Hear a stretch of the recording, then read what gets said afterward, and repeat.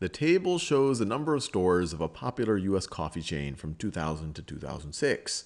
The number of stores recorded is the number at the start of each year on January 1st. So in 2000, there's 1,996 stores. In 2005, 6,177, so on and so forth.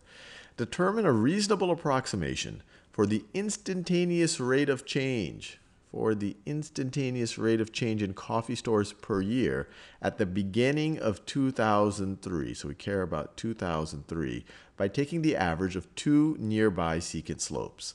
So let's visualize this. So this right over here, I've plotted all of the points. And let me make sure that the axes are clear. This horizontal axis, this is my t-axis. that tells us the year. And then the vertical axis is the number of stores. And we could even say that it is a function. It is a function of time. So you see in the year 2000, there was 1,996 stores.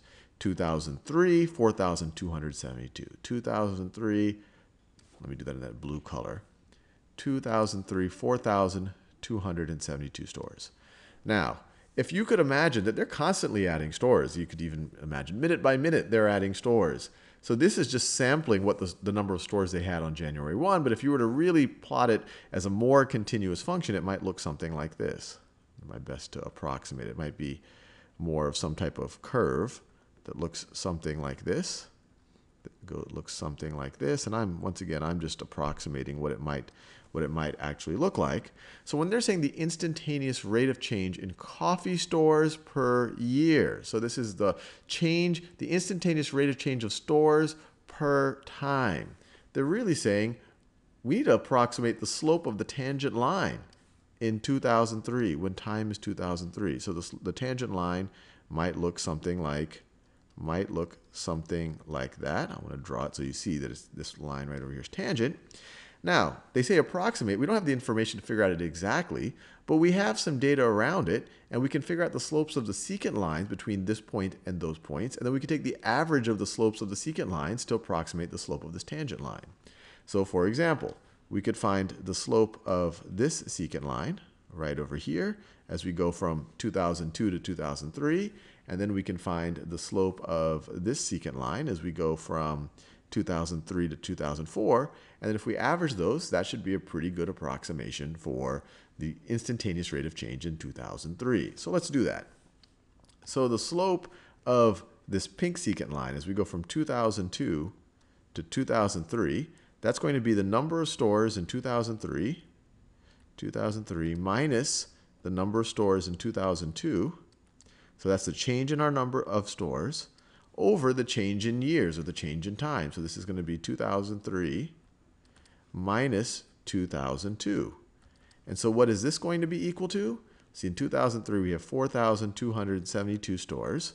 In 2002, we have 3,501. It's going to be that over, well, the denominator is just 1.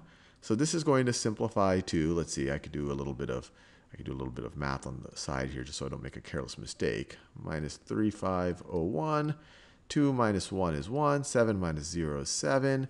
42 minus 35 is 7. So this is equal to 771. So their average rate of change from 2002 to 2003 was 771 stores per year. Stores per stores per year. Now let's do the same thing for this red secant line between 2003 and 2004. The slope of that secant line is going to be the number of stores in 2004 minus the number of stores in 2003 over 2004 minus 2003, which is equal to, let's see, they had 5,239 stores in 2004. They have 4,272 stores in 2003.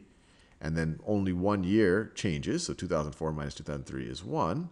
So this is equal to, I'll do the subtraction problem up here. So 5,239 minus 4,272. So this, let's see, 9 minus 2 is 7.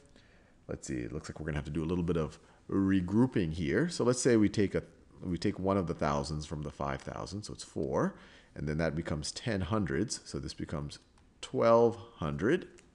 And now let's take one of those hundreds and gives it to the 10. So now this becomes 1100. and give that 10. So then this becomes 13. That we took 100 from here, and that make, made gave us 10 tens. So now we're ready to subtract. 13 minus 7 is 6. 11 minus 2 is 9.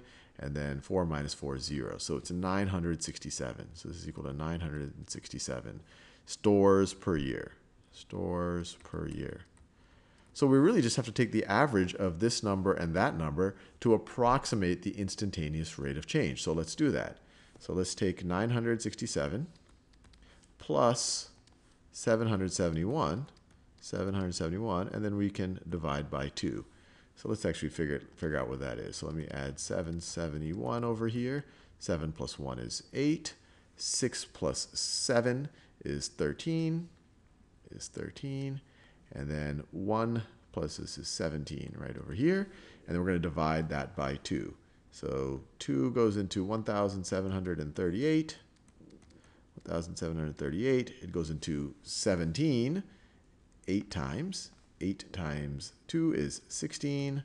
Subtract, we get a 13, goes 6 times. 12, subtract, get an 18, goes 9 times, and then we don't have any remainder. So 18, no remainder. So our approximation for the instantaneous rate of change, for the slope of our approximation, for the slope of this of the tangent line right over here, is 869 stores per year.